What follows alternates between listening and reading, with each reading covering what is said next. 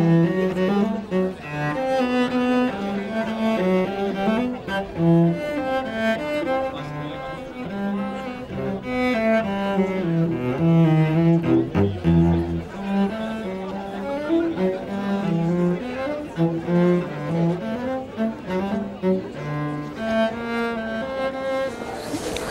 Per me è una, un segno di ricordo, di riconoscenza per ritornare a un fatto storico che è stato liquidato superficialmente tra virgolette, cioè il genocidio di un milione di persone dove Romeo Dallaire ha chiesto l'aiuto dell'ONU per intervenire e questa richiesta di aiuto è stata, è stato, diciamo, ignorata completamente.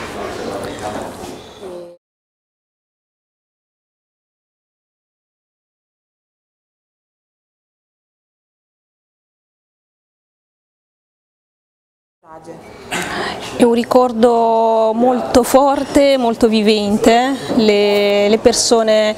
eh, che hanno vissuto quelle tragedie sono ancora traumatizzate perché hanno dovuto e devono vivere con eh, magari i propri assassini,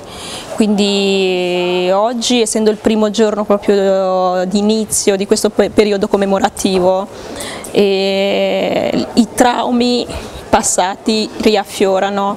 e il Ruanda si ritrova a dover fare comunque fronte a quella, a quella storia, a, quelli, a, quei momenti così eh, difficili da, da, da, superare. Molti sopravvissuti vengono anche eh, uccisi successivamente perché magari eh, ci sono anche degli assassini che eh, si vogliono pulire la coscienza, hanno paura che siano ancora denunciati per cui il, è una strage che non finisce ancora, che noi dobbiamo costituire una memoria attorno a questa strage. E il Paese sta cercando di riprendere una, una vita comune, di eh, intraprendere un cammino della riconciliazione. E il cammino è lungo e i giorni di memoria come questi servono anche per eh, non liquidare velocemente quello che è stato.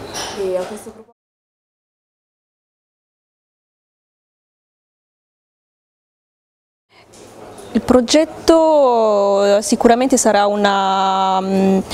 una cosa molto favorevole, molto forte perché dimostrerà, aiuterà a capire che ognuno può esercitare una scelta, una scelta di no seguire eh, la massa, eh, soprattutto quando si tratta di, di, un crimine come il genocidio, quindi sarà un momento per eh, riconoscere i giusti, quindi le persone che hanno osato, hanno avuto il coraggio di opporsi al male nei momenti bui e quindi aiuterà a insegnare ai giovani, a noi stessi